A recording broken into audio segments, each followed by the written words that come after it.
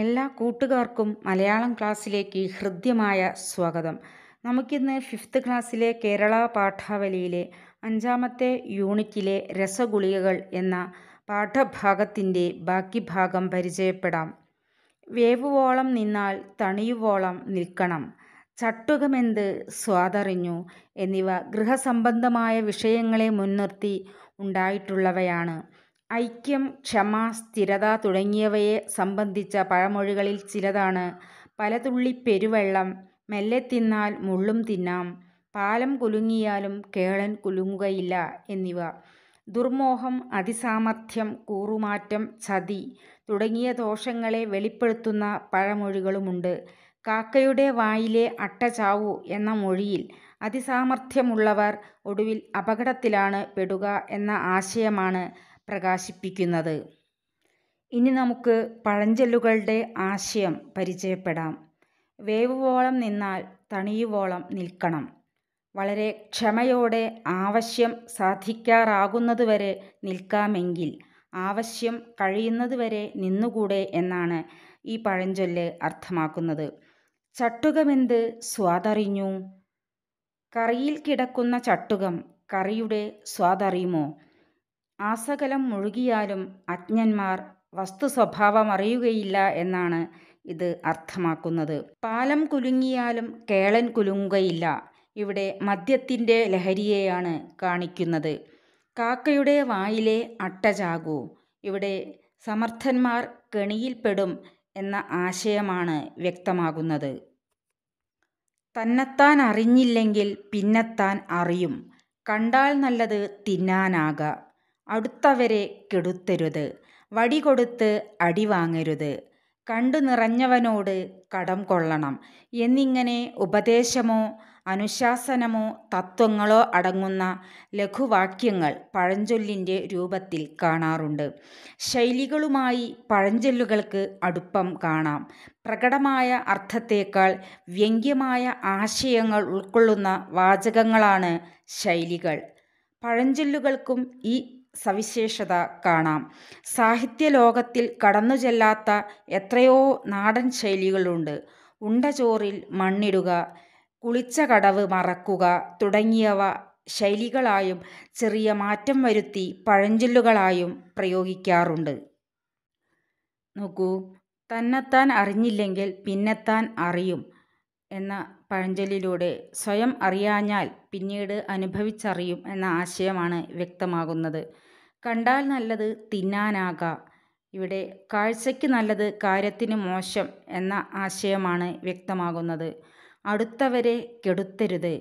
ഇവിടെ വിശ്വാസവഞ്ചന പാടില്ല എന്നും ആശ്രയിക്കുന്നവരെ ഉപേക്ഷിക്കരുത് എന്ന ആശയവുമാണ് വ്യക്തമാകുന്നത്.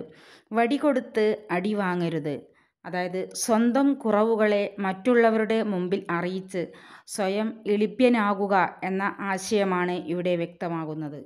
ഉണ്ടചോറിൽ മണ്ണിടുക സഹായം ചെയ്തവരെ വെറുപ്പിക്കുക കുളിച്ച കടവ് മറക്കുക സഹായം ചെയ്തത് വിസ്മരിക്കുക തുടങ്ങിയവയെല്ലാം മനുഷ്യന്റെ നന്ദികേടിനെയാണ് കാണിക്കുന്നത്. കുരങ്ങ് ചത്ത കുറവനെപ്പോലെ അണ്ടികളഞ്ഞ അണ്ണാനെപ്പോലെ കടന്നൽ കൂട്ടത്തിൽ കല്ലിട്ട പോലെ എന്നിങ്ങനെ അനേകം ശൈലീമൊഴികൾ നിത്യഭാഷണങ്ങളിൽ പ്രകടമാകാതിരിക്കയില്ല. പഴഞ്ചൊല്ലുകൾ പ്രയോഗിക്കുന്നത് പോലെ തന്നെയാണ് ഇവയും പ്രയോഗിക്കുന്നത്. കുരങ്ങ് ചത്ത കുറവനെ പോലെ അണ്ടികളഞ്ഞ അണ്ണാനെ പോലെ ഈ ചൊല്ലുകളെല്ലാം പ്രധാനപ്പെട്ടത് നഷ്ടമാകുമ്പോഴുണ്ടാകുന്ന അവസ്ഥയെയാണ് കാണിക്കുന്നത്. കടന്നൽ കൂട്ടത്തിൽ കല്ലിട്ട പോലെ എന്ന ചൊല്ല് കൂട്ടത്തോടെ ആക്രമിക്കുന്നതിനെയാണ് സൂചിപ്പിക്കുന്നത്. ഭാവിയിലേക്ക് കരുതി വെക്കണമെന്ന് കരുതുന്നവ താളബന്ധമാക്കുക എന്നത് മനുഷ്യ സ്വഭാവമാണ്. മിക്ക പഴഞ്ചൊല്ലുകൾക്കും ഈ പ്രത്യേകത കാണാം. കവിതയുടെ പ്രാരംഭകാലത്തെയാണ് അവ സൂചിപ്പിക്കുന്നത്. മലയാളത്തിലെ പഴഞ്ചൊല്ലുകൾ കൊച്ചു കവിതകളുടെ രൂപഭംഗിയും അർത്ഥപുഷ്ടിയും ഉള്ളവയാണ്. ലോകസ്വഭാവം മിതവും സാരവുമായി വെളിപ്പെടുത്താൻ അവയ്ക്ക് കഴിയുന്നു. അന്നവിചാരം മുന്നവിചാരം ഞാറുറച്ചാൽ ചോറുറച്ചു അർജൻ വീണാൽ പടയില്ല എന്നിങ്ങനെ താളവും ഈണവും ഒത്തിണങ്ങിയ മൊഴികൾ പഴഞ്ചൊല്ലുകളിൽ കാണാൻ കഴിയും വിത്താഴം ചെന്നാൽ പത്തായം നിറയും ഞാറ്റിൽ പിഴച്ചാൽ ചോറ്റിൽ പിഴയ്ക്കും ഏറിപ്പോയാൽ കോരിപ്പോകും എന്നിങ്ങനെ ഈ രണ്ട് ഖണ്ഡങ്ങൾ അടങ്ങുന്ന പഴമൊഴികളുമുണ്ട്. മലയാളത്തിലെ പഴഞ്ചൊല്ലുകൾ കൊച്ചു കവിതകളുടെ രൂപഭംഗിയും അർത്ഥപുഷ്ടിയും ഉള്ളവയാണ്. അതുകൊണ്ട് തന്നെ ലോകസ്വഭാവം മിതവും സാരവുമായി വെളിപ്പെടുത്താൻ അവയ്ക്ക് കഴിയുന്നു. അന്നവിചാരം മുന്നവിചാരം ഇവിടെ ഭക്ഷണത്തിന്റെ പ്രാധാന്യത്തെയാണ് സൂചിപ്പിക്കുന്നത്. ഞാറുറച്ചാൽ ചോറുറച്ചു. കൃഷി നന്നായാൽ നല്ല വിളവ് കിട്ടും. അരജൻ വീണാൽ പടയില്ല. രാജാവ് യുദ്ധത്തിൽ തോറ്റാൽ പിന്നെ പടയുടെ കാര്യം പറയേണ്ട. വിത്താഴം ചെന്നാൽ പത്തായം നിറയും. നന്നായി കൃഷി ചെയ്താൽ നല്ല വിളവ് കിട്ടും. ഞാറ്റിൽ പിഴച്ചാൽ ചോറ്റിൽ പിഴയ്ക്കും. കൃഷിയിൽ പിഴച്ചാൽ വിളവ് ലഭിക്കില്ല. ഏറിപ്പോയാൽ കോരിപ്പോകും ഇവിടെ നിയന്ത്രണം വയ്ക്കേണ്ടതിന്റെ ആവശ്യകതയാണ് സൂചിപ്പിക്കുന്നത്. തോണി കടന്നാൽ തുഴ വേണ്ട. അഹങ്കരിച്ചാൽ മുഖം കറുക്കും. സമ്പത്ത് കാലത്ത് തൈപ്പത്ത് വച്ചാൽ ആപത്തുകാലത്ത് കാപ്പത്തു തിന്നാം. ചക്കിയോളം ചോദിച്ചാൽ ചുക്കോളം കിട്ടും എന്നിങ്ങനെ വിവിധ ചൊൽവടിവുകൾ ഉൾക്കൊള്ളുന്ന പഴഞ്ചൊല്ലുകൾ നമ്മുടെ ഭാഷയിൽ കുറവല്ല. പഴഞ്ചൊല്ലുകൾ ഭാഷയുടെ വളർച്ചയുടെ വിവിധ ഘട്ടങ്ങളിൽ ഉണ്ടായവയാണ്. നിത്യജീവിതവുമായി ബന്ധപ്പെട്ട ആ മൊഴികൾ വാമൊഴി രൂപത്തിൽ നിലനിൽക്കുന്നവയായതിനാൽ പദസംബന്ധമായ മാറ്റങ്ങൾ അവയിൽ സംഭവിക്കുക സ്വാഭാവികമാണ്. ഭാഷയുടെയും സംസ്കാരത്തിന്റെയും വിവിധ തലങ്ങളെ സ്പർശിക്കുന്നവയാണ് പഴഞ്ചൊല്ലുകൾ. പ്രാദേശിക തനിമ അവയുടെ ഒരു പ്രത്യേകതയാണ്. നിത്യജീവിതത്തിൽ പഴമൊഴികളുടെ പ്രയോഗം കുറഞ്ഞു വരികയാണ് അതുകൊണ്ട് തന്നെ അവ നഷ്ടപ്പെട്ടുകൊണ്ടിരിക്കുകയുമാണ്.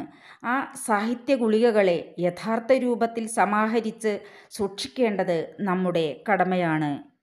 തോണി കടന്നാൽ തുഴ വേണ്ട ഇവിടെ ലക്ഷ്യസ്ഥാനത്ത് എത്തിക്കഴിഞ്ഞാൽ അതുവരെയും സഹായം ചെയ്തവരെ വിസ്മരിക്കുന്നതിനെ സൂചിപ്പിക്കുന്നു. അഹങ്കരിച്ചാൽ മുഖം കറുക്കും.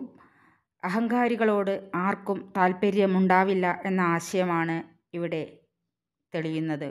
സമ്പത്ത് കാലത്ത് തൈപ്പത്ത് വച്ചാൽ ആപത്ത് കാലത്ത് കാപ്പത്തു തിന്നാം ഇവിടെ ആരോഗ്യമുള്ളപ്പോൾ സമ്പാദിക്കണം എന്ന കാര്യം സൂചിപ്പിക്കുന്നു. ചക്കിയോളം ചോദിച്ചാൽ ചുക്കോളം കിട്ടും ഇവിടെ ഒരുപാട് പരിശ്രമിച്ചാൽ ഒരൽപ്പം നേടുവാനാകും എന്ന കാര്യം സൂചിപ്പിക്കുന്നു. പഴഞ്ചൊല്ലുകൾ ഭാഷയുടെ വളർച്ചയുടെ വിവിധ ഘട്ടങ്ങളിൽ ഉണ്ടായവയാണ്. നിത്യജീവിതവുമായി ബന്ധപ്പെട്ട ആ മൊഴികൾ വാമൊഴി രൂപത്തിൽ നിലനിൽക്കുന്നവയായതിനാൽ പദസംബന്ധമായ മാറ്റങ്ങൾ അവയിൽ സംഭവിക്കുക സ്വാഭാവികമാണ്. ഭാഷയുടെയും സംസ്കാരത്തിന്റെയും വിവിധ തലങ്ങളെ സ്പർശിക്കുന്നവയാണ് പഴഞ്ചൊല്ലുകൾ. നിത്യജീവിതത്തിൽ പഴമൊഴികളുടെ പ്രയോഗം കുറഞ്ഞു വരികയാണ് അതുകൊണ്ട് തന്നെ അവ നഷ്ടപ്പെട്ടു പോകാതെ സൂക്ഷിക്കേണ്ടത് നാം ഓരോരുത്തരുടെയും കടമയാണ്. തോളിലിരുന്നു ചെവി തിന്നു പോരേ നേരെ വന്നാൽ നിങ്ങൾ നിസ്സഹായർ. പൂവമ്പഴത്താൽ കഴുത്തറുപ്പോരേ വാളു തന്നാൽ നിങ്ങൾ നിസ്സഹായർ. വീണാമരത്തിന്മേൽ കയറിയിടുന്നോരേ തളപ്പൂ തന്നാൽ നിങ്ങൾ നിസ്സഹായർ. നനയാതെ മീൻ പിടിച്ചിടുവോരേ വഞ്ചി തന്നാൽ നിങ്ങൾ നിസ്സഹായർ. വഞ്ചി തന്നാൽ നിങ്ങൾ നിസ്സഹായർ. പുലാക്കാട്ട് രവീന്ദ്രന്റെ നിസ്സഹായർ എന്ന കവിതയാണ് നിങ്ങളിപ്പോൾ കേട്ടത്.